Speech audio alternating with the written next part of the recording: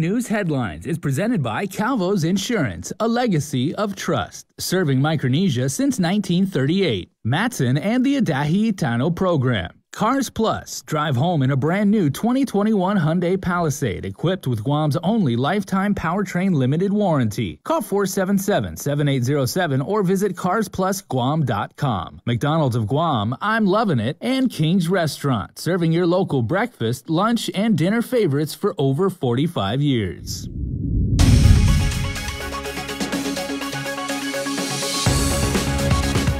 Starting now on prime time, our island could be in PCOR 3 by the end of the week. You'll hear from Governor Lou Leon Guerrero coming up. And Guam is one step closer to seeing more than a half billion dollars in federal COVID relief. Plus, we take you to GCC to tell you more about the first ever paramedic program for Guam. Hafa Adai and good evening. Guam's consistently low CAR score and several other factors have the governor looking toward making some key decisions in the next couple of days to get Guam moving down the road to recovery. Governor Lou Leon Guerrero is looking at this Friday, February 19th, as the day she will declare Guam in PCOR 3. We remain in a below CAR score of one for the last eight weeks, and that's I just want to again thank the people of Guam for making that happen. Also good, according to the governor, the island's death rates have gone down, as has the rate of transmission, and thousands of island residents have joined the vaccination. We are actually leading throughout the whole nation in terms of percentage of vaccine per 100,000 and in terms of our population percentage uh, and also our uh, distribution, you know, shots in the arm from giving us the supply to, to vaccinating our people. So all these things go to make a very strong, strong uh, community, less community spread, which makes me and our people much more safer in terms of recovering our island. While Friday could be the day PCOR 3 is declared, the governor hasn't decided on whether restrictions will be lifted for bars and taverns. Leon Guerrero says unlike dining establishments, bars have not been as proactive in submitting their protocols. The dining industry were the ones that brought their protocols to us, and we worked it with public health. So they, they were the ones that said, here's how we're going to protect our community. I'm looking for that same kind of uh, uh, input from the bars. Uh, once we look at all that, public health feels through their guidelines and their expertise that uh, it would be a, a secured um, protocol to be able to open the bars, we will. But I'm not, you know, I'm waiting for their protocols. I have not seen it. Friday's PCOR 3 declaration would occur more than one month ahead of the targeted reopening of Guam to tourism on April 1st. The governor stresses, however, we shouldn't be expecting tourists from our source markets to be visiting because most countries are still cautious about traveling during the pandemic. She says what we will likely see is a change to quarantine protocols to allow returning residents and visitors to home quarantine instead of mandatory quarantine at the government facility in Tumon. Her greatest concern for now is monitoring the COVID variants and hoping we don't see a repeat of the past when restrictions were lifted. This has happened to us before. We were in PCOR 3 and then all of a sudden we had a non-compliant to self-quarantine and it just spread like wildfire. You know, we jumped from one day of 276 positives right. to close to 500 in one day. And so we don't want to do that again. When the governor does declare Guam in PCOR 3 at the end of this week, or when the island reopens to tourism in April, she's hoping everyone will continue to do their part. It's a little bit scary because, you know, we did that once, um, but we have to, you know, trust that the community will be uh, cooperative and trust that, uh, you know, um, we'll get the support of the community in terms of self uh, quarantine. The government of Guam stands to receive $661 million in federal assistance to continue to contain COVID. It's part of the president's $350 billion COVID relief package passed by the House over the weekend. Nestor Licanto takes a closer look at two provisions contained in the package, which provides significant help for local taxpayers and the local government. The first one he mentioned, he said twice for emphasis. And Guam will receive a cost reimbursement of 100 percent of our EITC expenditures. Um, I'm going to repeat that. We're going to be receiving a reimbursement of 100% of our EITC expenditures. The Earned Income Tax Credit is a refundable credit for low to moderate income working individuals and couples with children. Gov Guam now pays out about $60 million a year in EITC refunds with no federal reimbursement and has complained for years about what it calls an unfunded mandate. Territories must provide the Treasury with an annual report on the estimate of costs and a statement of costs with respect to the preceding year of the reimbursement. This is permanent and will be applied for tax year 2021 and all subsequent tax years. So this isn't just a COVID-19 relief um, one-time shot. This is a permanent uh, reimbursement of the earned income tax credit um, that is incurred by the by the territory of Guam. But there's an even larger potential windfall on the way. San Nicolas says the child tax credit of $3,000 for kids over six and 3,600 for those under six will be fully refundable by 2021. That amount will be actually paid out to the taxpayer this year. I have been in communication with um, the Director of Revenue and Taxation, uh, informing her of this uh, additional language that, that just recently passed. I'm hoping that she can um, assist us in uh, working towards quantifying that. Uh, but uh, it could it could be as substantial, if not more substantial, uh, than the earned income tax credit reimbursements. DRT will be charged with dispersing the funds from the U.S. Treasury, which could start as early as July. An example of what to expect? You're a family with three children. You have one child that's over the age of six and two children under the age of six. You're going to be getting a refunded credit of $9,600 and it will be paid to you this year. Based on the, the language, it could be paid to you on a monthly basis or it could be paid to you on a one-time basis. For Guam's News Network, I'm Nestor Licanto. Congressman. Nicolas says he expects the relief package to clear the Senate. Governor Lou Leon Guerrero, in the meantime, has already been meeting to prioritize the anticipated 661 million in federal assistance that could be heading our way. Our priority is uh, lost revenues replacement. That's one of the things that we have as uh, all the 50 uh, governors of the states and territories have been uh, working very closely with the Biden administration to allow the governors the discretion of these uh, dollars. And it's to uh, help uh, bring back the economy, rebuild our island.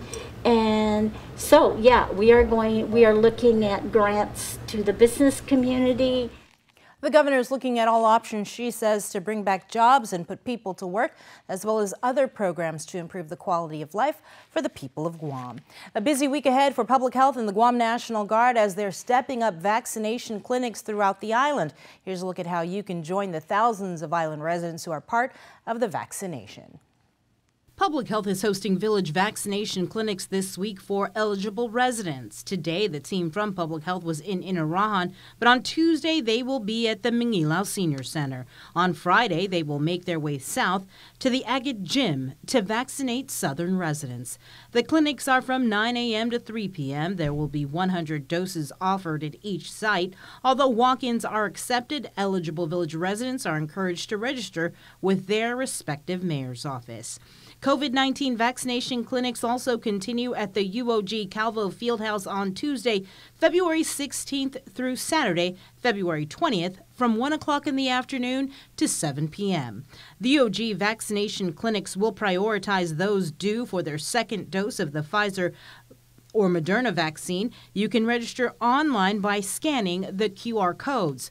Those due for their second dose of the vaccine may get their second dose up to four days early.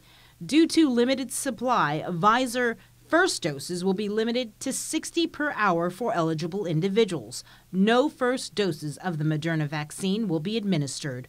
Walk ins wishing to avoid long wait times are discouraged from arriving at the 1 p.m. hour. Average wait times during this hour are generally two to three times longer than those later in the afternoon or early evening. One month from today will mark exactly one year Guam confirmed its first three coronavirus cases. Every single day since then, hundreds of frontliners have been battling to contain COVID. From manning community test sites to the vaccination clinics, they've set aside their personal lives to help strangers. Here's one of those heroes.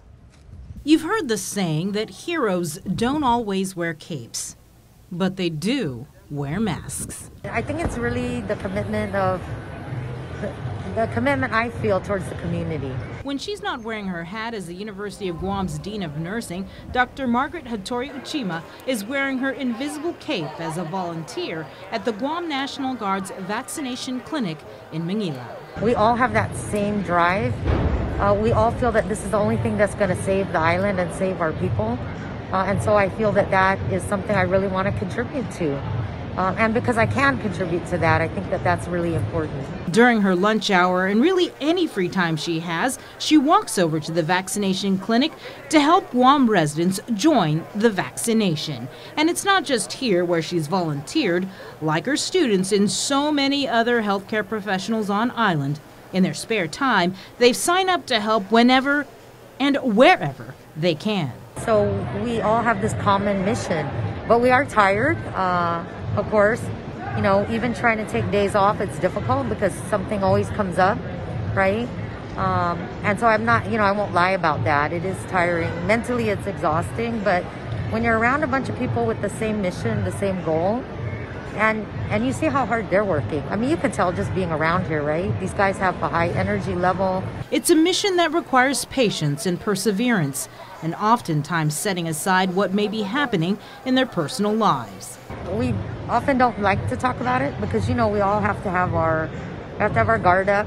We have our moments of weakness, uh, and we go to each other for strength. The vaccination clinics at UOG is an operation of the National Guard, but countless nurses, both the public and private sector, like Dr. Hattori Uchima, are volunteering because at the end of the day, we're all in this together. It's that passion, I think, to try to help, you know, save, sorry, I don't mean to be dramatic, right? But to save people from, uh, you know, the, the horrible consequences of COVID whether it's you know even if you're not hospitalized there there may be long-term consequences right? And of course the worst worst is leading to um, hospitalization and possibly death. And so we want to spare any family from that going through that. Stay tuned more news after the break Get up to the minute news, plus access to alerts, streaming radio, promotions, and more on your mobile device by downloading the KUAM News mobile app, available at the App Store now. Social distancing may be the new norm, but connection will always be our tradition. Through good times and tough times, we remain connected with you. Mass may be the new fashion, but protection will always be our style. You can always count on us to protect the things that matter the most. Sanitizing may be the new routine, but caring will always be our practice. We care about your loved ones and the things you value the most. And as we welcome our new normal,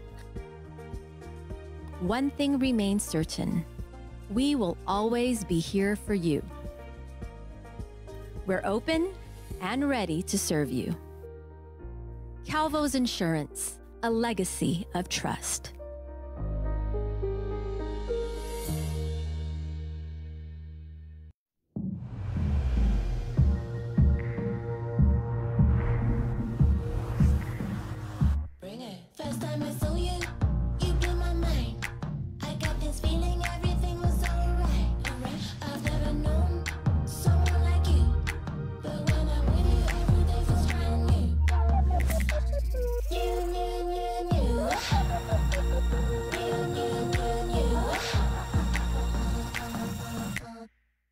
Our new McDonald's Spicy Chicken McNuggets are just the right amount of spicy.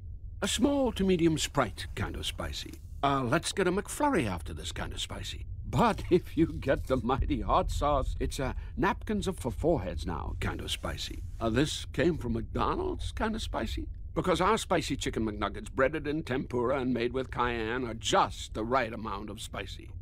Unless you remember what I said about the sauce. Ba-da-ba-ba-ba.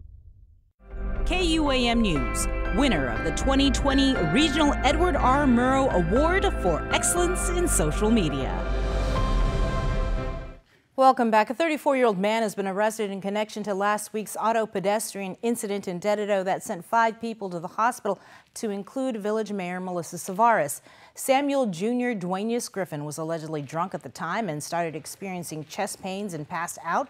The mayor, along with four other GovGuam employees, was in the area conducting a tree inspection near Benavente Middle School when a car ran off the roadway and struck them. Court documents state that Griffin told police he had been drinking beer since 9 o'clock that morning and the night before tried meth for the first time. That afternoon, he was on his way to get food when he started feeling chest pains, passed out, and woke up at the hospital. He told police that, quote, I'll man up to my mistakes and try to make it right. God, I'm so sorry they got hurt. He was charged with vehicular negligence, driving while impaired, and possession of open container in a motor vehicle. It's a first ever for Guam and a goal the governor has had since she was a senator to establish a local paramedic program. At least 33 firefighters with the Guam Fire Department are part of the first cohort taking courses to become a paramedic. The online program is a partnership with the Guam Community College, the Fire Department, and the Guam Department of Labor. GCC President Dr. Mary Okada says this is just the beginning. I will say that the arrangement that we have goes beyond just providing the first cohort for paramedics. It also helps to support the Guam Community College in setting up its own paramedic program so that long term that we can start to uh, you know, develop our own program, get accredited so that we can carry that going forward. Currently, the group is halfway through their 47 week course, comprised of online instruction and clinicals. They're learning the life saving skills such as administering an IV, intubation, and advanced airway management. Vicki LeMay is on island and is the Director of Clinic Services for the School of EMS. It's all about the people of Guam, the patients that are ill or injured, having a better outcome, a better chance at, at recovering, fully recovering from whatever issue they're having. You know, if it's a, anytime you have a breathing issue, an oxygenation issue, you have minutes. And if the paramedics are there on scene to resolve that there, then they have, you know, a longer period of time um, to get to the doctor and then take it a step further. The initiative was made possible through $400,000 in funding from the Manpower Development Fund under the Guam Department of Labor. Here's DOL Director David Dell'Isola. And this just goes to show that uh, the H2 program that we administer and we collect the registration fees go directly to helping our people. According to Guam Governor Lou Leon Guerrero, it's her vision to have all medics to go through the course to become a nationally certified paramedic. This um, is a great, um, um, significant movement towards progress in advanced care out there in the field. And it, paramedics, as you saw, do more than just vital signs. They intubate, they uh, decompress, as you saw, they stabilize uh, fractures, they uh, do IVs, they administer medications. So to me, it's like bringing the emergency room out into the field. Thanks, Jason. It's just a matter of time before we see discussions ramp up about building a new hospital. The governor confirming she is eyeing the property where Eagles Field is located in Mangilao as the site for the facility. Governor Lou Leon Guerrero saying she has received feedback from the Department of the Navy about the property and is currently in discussion to either lease the land or for the military to deed it over to the local government. According to an assessment conducted last April by the U.S. Army Corps of Engineers, it would cost about $761 million to make repairs to GMH, whereas it would cost roughly 743 million to build a new one. The Army Corps of Engineers reported that the current infrastructure at GMH is in an overall state of failure. A busy past few days for the Guam Fire Department and Guam EPA. This morning, units from GFD responded to a fire near an apartment complex in the Upper Tumon area. Firefighters were on scene putting out an illegal dump fire. The trash included piles of white goods and old furniture. Investigators from Guam EPA were called to launch an investigation. KUAM has learned. Guam EPA was also called to look into a dump fire in Afami Sinajana earlier today, as well as another fire in Ordot on Sunday. A U.S. Marine lifelong public servant and devoted family man, Colonel Adolfo Sgambelluri, died this morning. He leaves behind a legacy of service to the community. He helped grow and defend as a decorated combat veteran and civic leader. He was one of the first Chamorros to reach the rank of colonel in the U.S. Marines and also was a vice president at the Guam Community College, additionally serving his community as chief of police for Guam Police and federal security director for the Transportation Security Administration. He was also a successful entrepreneur, creating and running his own investigations business. KUAM sends our heartfelt prayers and sympathies to his wife Rosie, his children, and grandchildren. We're back with more after the break.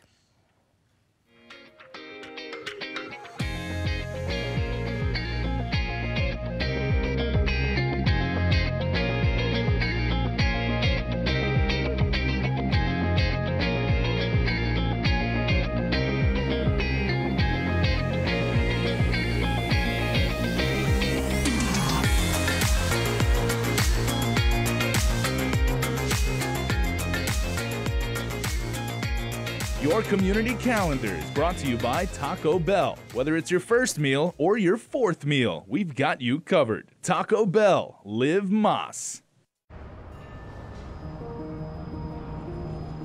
It makes myself and it makes my team members very proud to work for an organization that has been on island for many years with its focus on reliability, dependability, and commitment to the communities that they operate in. Matson's a great corporate citizen to the community. We all benefit from any sort of environmental commitment we make. One of the ways that we do that is with our Adahi I Tano program. There's action behind it, and so action breeds commitment. With the Kaimana Hila coming to Guam, this brings a new age and modernization to the island. It's exciting for me because it's a brand new ship and we can carry more freight into the island it just shows growth for Guam and Micronesia. Matson would be nothing without its customers, and we hope to continue to serve you for decades to come.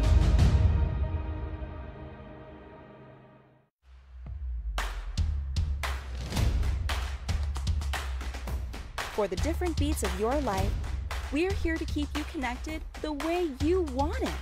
Plans made for you, by you. Build your own bundle with Link.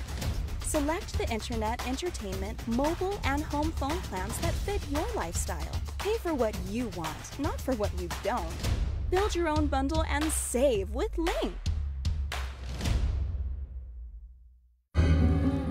So long, nacho fries.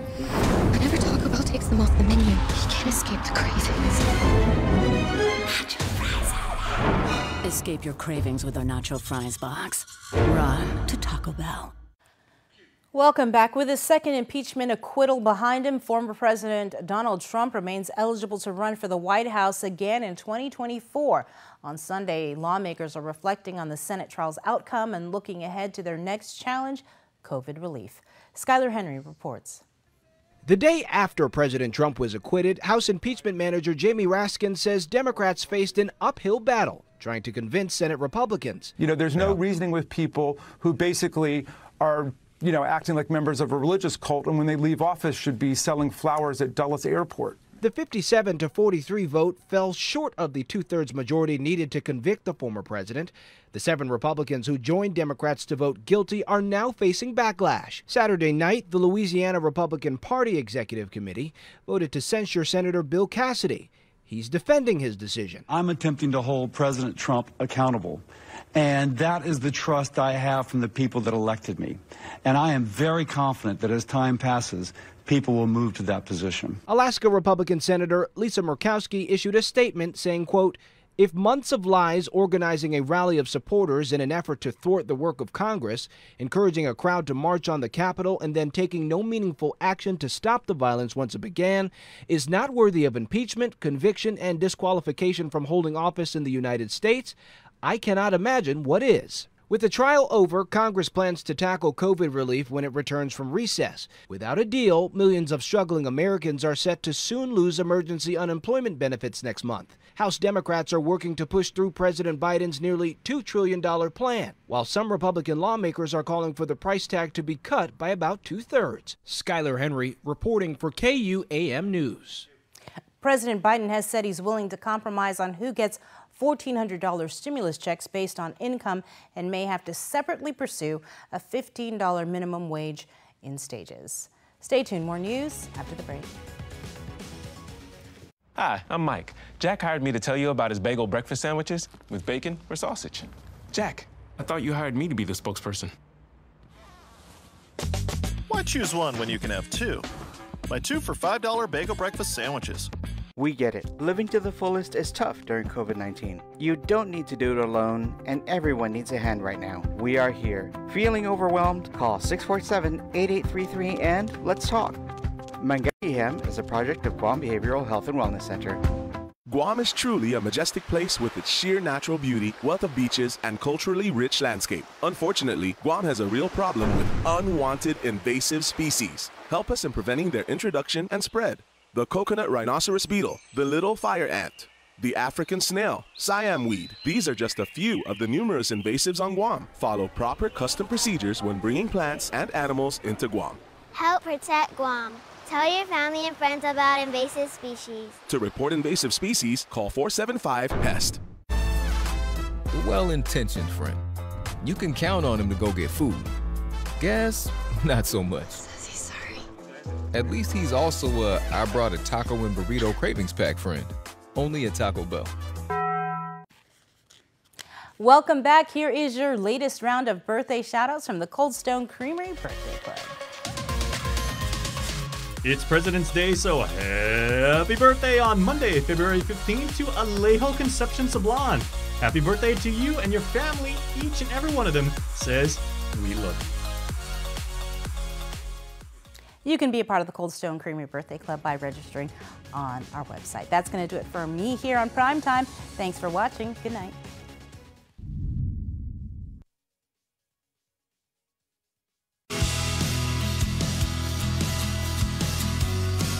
Beyond Our Borders is brought to you by the